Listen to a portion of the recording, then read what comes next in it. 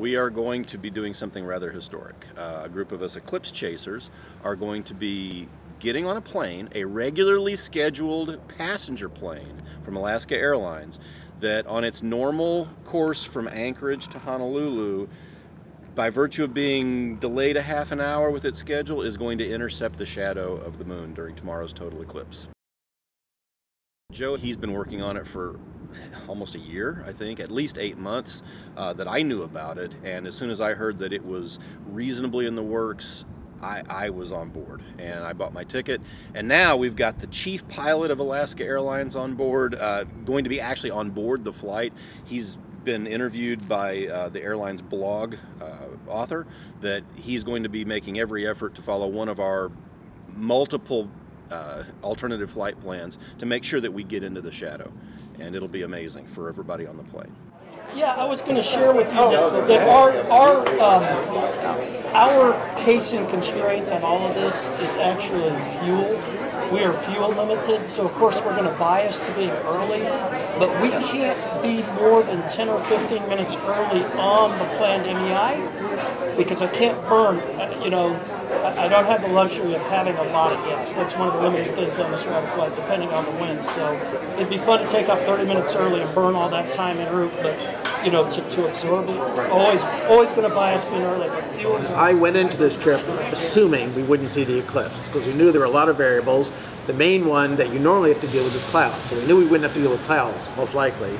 But the big variable was how cooperative would the airline and the crew be, and would there be mechanical problems? Would there be weather problems in Anchorage in winter? That was a big concern. So would we actually get there? No, is that tomorrow, if the wind is anything other than what's forecast, we're either going to be drifting east or west based on what the flight plan wind was.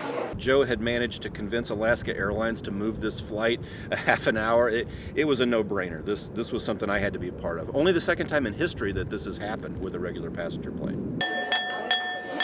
I'd like to propose a toast, if I could, to the inexorable laws of celestial mechanics who heat me up, to the greatest airline in the world and the greatest group of customers I've ever had the pleasure uh, of being on my airplane. to the eclipse. I knew there would probably be some sort of media around because I'd seen the press release that Alaska Airlines put out, and, and they had interviewed me. Their PR guy had interviewed me for their for their uh, blog. So we'd been wondering, well, how much media will there be? And so there, there was so much, somewhat more than we'd expected. And most of us got there early, three hours before the flight. So I thought it was great. I think there was one news crew when I got there, and then uh, the rest of our people were there for the regular passengers.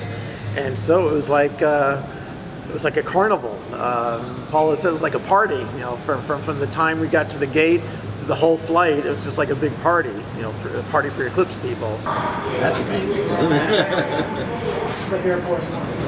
Well, Glenn, Glenn sent me new information, believe it or not, late last night. I got two emails from late last night. What did you get? And uh, I got, he sent me a whole list based upon the jet streak of 150 knots, west-southwest component. Have you already he, provided to your I haven't, I haven't seen them yet, uh, but uh, certainly will. He says that with this new information, that we can squeeze out maybe another three seconds. Nice. This is this is uh, done by Glenn Schneider, Dr. Glenn Schneider, who was in Indonesia for the eclipse, but he's been very kind to map everything out for us and to write the flight plan up. The winds where we're going to be for the eclipse are at the uh, 200 millibar or 38,000 foot level. They're going to be blowing at about 150 knots, which is a bit of a concern, I think, to uh, the pilots. And now we're looking at 1 minute and 50, 55.2 seconds, a gain of 3.1 seconds with the correction for the uh, limb of the moon. So we're actually going to gain possibly another couple of seconds with this uh, new uh, information based upon the high level winds. Eclipse classes for everybody. this is the first eclipse to touch the continental United States in 38 years, and you are lucky because we've been going through an eclipse drought in the U.S., but now we have an eclipse circuit starting next year with this one. It's the same configuration, we have the same seats, but we have few extra rows in the back that are left empty. So some of us who are on the plane who didn't get window seats will be able to go in the back and arrange that with uh, the captains. We have filtered glasses, because you know for that partial phase, you've got to have glasses on your eyes. You Oh, yeah. You can't look wear your sunglasses. During the total phase, when it's blacked out, then you don't need the glasses.